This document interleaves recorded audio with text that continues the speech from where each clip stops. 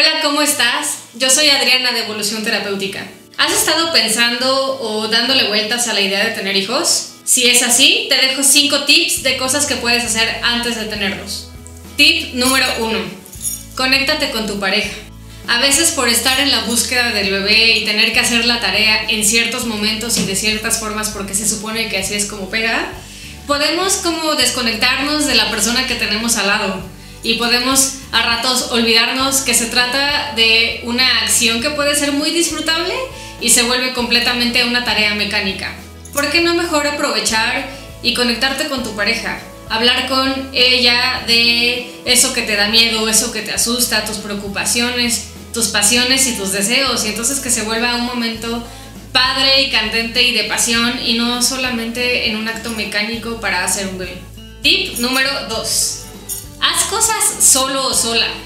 Muchas veces se nos olvida que somos individuos y para ir al cine, para ir a tomar un café o para lo que sea, en general se nos ocurre que tiene que estar alguien siempre con nosotros.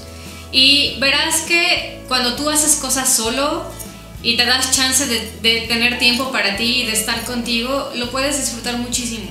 Puedes descubrir cosas de ti que normalmente cuando estás con otras personas puedes no darte cuenta que ahí están. Date chance de ser tú la prioridad y ve qué te pasa con eso. ¿Qué se siente cuando tú te das a ti el primer lugar en algo? Puedes descubrir quizás que es incómodo o al contrario, puedes darte cuenta de que lo disfrutas muchísimo. Y entonces no olvidar cuando ya tengas un bebé que tú también sigues siendo un individuo. Tip número 3. Ponte en orden. Y sí, yo soy la primera en decir que no, ¿por qué? ¿Por qué Adriana? ¿Por qué ponerte en orden? Pero sí, si, tú te das cuenta, limpiar, deshacerte de cosas, e incluso ponerte en orden en cuanto a qué quieres, qué tienes y qué necesitas, te va a abrir muchísimo el panorama y vas a ver muchísimas cosas que de repente guardas que no tienen tanto sentido para ti. Deshacerte de cosas, tanto materiales como espiritualmente, le da espacio y bienvenida a algo nuevo. Tip número 4. Cuestiónate. Se vale que te preguntes, ¿realmente quiero tener un hijo o es más porque mi pareja quiere? ¿O qué pasaría si no puedo tener hijos o si mi pareja no puede y yo sí puedo? ¿Hasta dónde estoy dispuesta a llegar? ¿Hasta dónde están mis límites? Se vale que te cuestiones y que estés todo el tiempo preguntándote estas cosas. Cuestionarte te va a dar la claridad que tú necesitas para saber el camino que hay que tomar y para que cuando te enfrentes con dificultades tengas un poquito más de claridad de qué hacer y hasta dónde sí y hasta dónde no.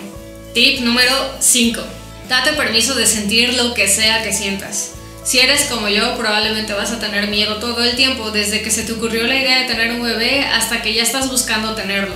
O puede ser que estés súper emocionada, súper emocionado, o que de repente tengas dudas, o que de repente te pongas triste. Lo que sea que tú sientas está bien, es normal cuando estás buscando un bebé que aparezcan un montón de emociones que de repente no sabemos qué significado ponerle y puede hacernos como dudar de nuestra propia sanidad y salud emocional.